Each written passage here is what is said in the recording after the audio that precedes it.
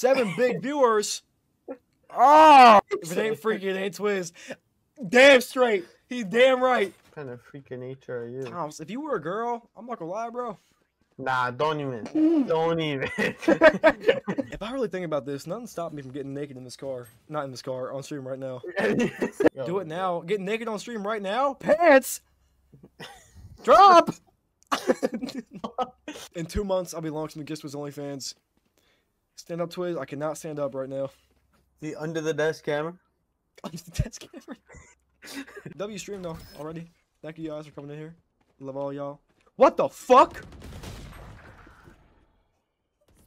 Dude, you're always hating on me. How could I not love it? Go fuck yourself. Hey Twist Collab, fuck you.